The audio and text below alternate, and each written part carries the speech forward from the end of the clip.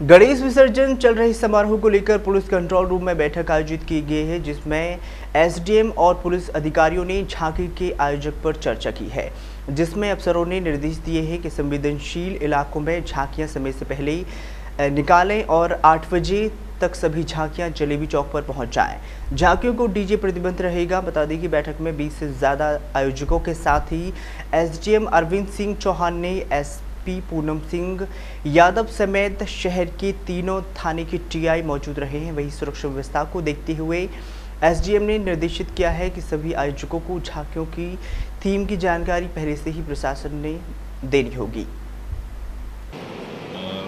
खंडवा में जैसे कि गणेश चतुर्थी की झांकियाँ निकलती हैं और बड़ा जुलूस जलसे का रूप में उनका जो है निकलता है।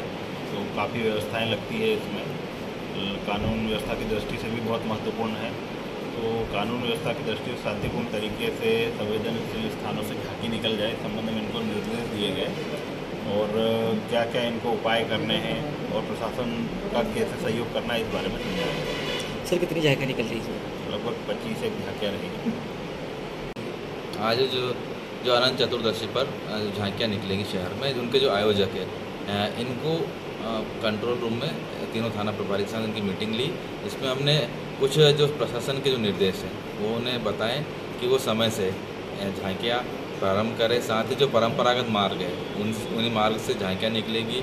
साथ ही साथ वो अपने झांकियों के साथ जो कार्य करता है, वो उनकी सूची प्रशासन को उपलब्ध कराएँगे, ताकि वो सहयोग करेंगे। इसके अलावा जो हमारा जो रूट रहेगा झांकियों का, उसमें हमने पर्याप्त पुलिस व्यवस्था लगाएँगे। साथ ही साथ जो संवेदनशील क्षेत्र है, वहाँ पर जो गलियाँ हैं उसमें बैरिकेटिंग स्टापर के माध्यम उनको रोकना, साथ ही किसी भी प्रकार का अनावश्यक उन गलियों में आवागमन ना हो, ये भी हम सुनिश्चित करेंगे। इसके अलावा जो जल समारोह के साथ में जो अखाड़े करने वाले रहते हैं, इनके लिए भी निर्देश दिए हैं कि वो किसी प्रकार के धारदार हथियार साथ में न लाए, साथ ही कोई ऐसे ज्वलनशील पदार्थ के साथ कोई वैसा कर्तव्य ना करें, जिससे किसी को या स्वयं को नुकसान हो। इसके संबंध में आज विस्तृत निर्देश दिए गए।